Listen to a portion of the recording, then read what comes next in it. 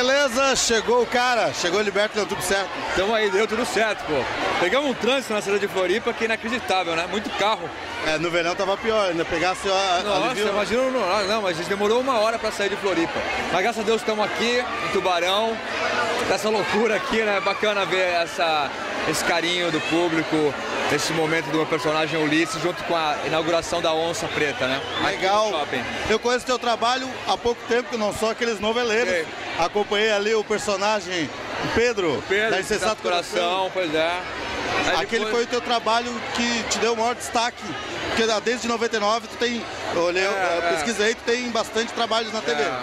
Ah, aquele foi um protagonista do, do Horário Nobre, né? Novela das nove. Dali em diante essa perseguição. É, mas olha, eu fiz Cabocla, fiz Sim Amor e Paraíso do Benedito no Horário das Seis, que foram três grandes sucessos, né? E Paraíso com o Zeca me deu o prêmio de melhor autor, é, ator no, no- do Melhores do Ano, do Faustão. Então. 2009. 2009. Então, é, é uma coisa gradativa, não é de uma hora para outra, né? Depois do Pedro foi uma coisa que atingiu muito mais pe- pelo horário, agora o Ulisses vem sacramentar, né? Que, que é um horário mais forte também. E é um personagem que eu amo muito fazer.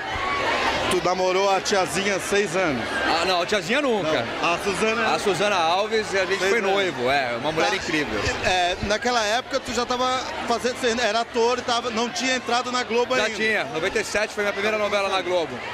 97, O Amor Está no Ar. Eu fui o, o Extraterrestre, foi a primeira novela que tratava sobre esse tema, né? Convivendo com ela e vendo a projeção que ela teve com aquele personagem tiazinha, ajudou também a te preparar para o sucesso e também quando o sucesso está mais alto, mais baixo? Meu, meu pai foi empresário do- da Regina Duarte, do Fagner. Então eu, eu- já cresci sabendo e conhecendo os ciclos.